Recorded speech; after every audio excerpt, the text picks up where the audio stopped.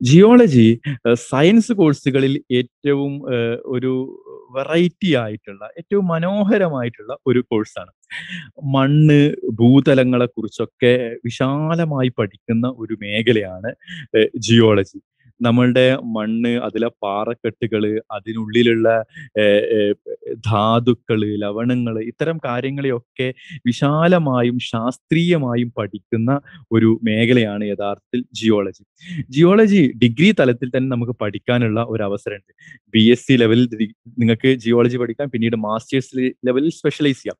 Masters ലെവലിൽ നിങ്ങൾക്ക് പല സ്പെഷ്യലൈസേഷനിലും പോകാം. Applied geology marine geology geophysics പോലുള്ള ജിയോളജിയുമായി അനുബന്ധമായ പല സ്പെഷ്യലൈസേഷനുകളിലേക്കും നിങ്ങൾക്ക് പോവാനുള്ള ഒരു അവസരമുണ്ട് ജിയോളജിയുടെ വളരെ പ്രധാനപ്പെട്ട ഒരു ഗുണം ജിയോളജി പഠിച്ചു കഴിഞ്ഞാൽ ഗവൺമെന്റ് സെക്ടറിൽ ധാരാളം അവസരങ്ങളുണ്ട്.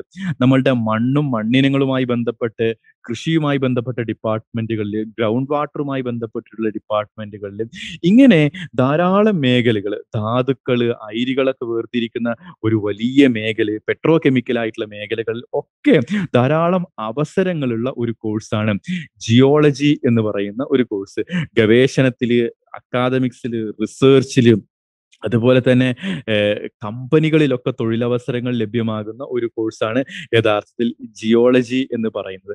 ഇത് പഠിക്കാനും ധാരാളം സ്ഥാപനങ്ങളുണ്ട്. സെൻട്രൽ യൂണിവേഴ്സിറ്റികളൊക്കെ ജിയോളജിയിൽ കോഴ്സ് കൊടുക്കുന്നുണ്ട് ഇപ്പോൾ Pondicherry university integrated M S C programme plus two കഴിഞ്ഞ ആളുകൾക്ക് അഞ്ച് കൊല്ലത്തെ integrated M S C programme കൊടുക്കുന്നുണ്ട്. സെൻട്രൽ യൂണിവേഴ്സിറ്റി ഓഫ് കർണാടക അടക്കമുള്ള ഒരുപാട് സെൻട്രൽ യൂണിവേഴ്സിറ്റികളിൽ നിങ്ങൾക്ക് B S C integrated B S C M S C geography പ്രോഗ്രാമുകൾ ചെയ്യാനുള്ള അവസരമുണ്ട്. അതോടൊപ്പം തന്നെ ഐ ഐ എസ് സി അടക്കമുള്ള ഐസർ അടക്കമുള്ള സ്ഥാല സ്ഥാപനങ്ങളിൽ എർത്ത് സയൻസ് ജിയോഗ്രഫിക്കൽ സയൻസ് പോലുള്ള മേഖലയിൽ നിങ്ങൾക്ക് ജിയോളജിയുടെ പഠന മേഖലകളിൽ റിസർച്ചിലേക്കും അക്കാദമിക്സിലേക്കും ഒക്കെ പോകാൻ പറ്റുന്ന ഉന്നത നിലവാരമുള്ള സ്ഥാപനങ്ങളാണ്.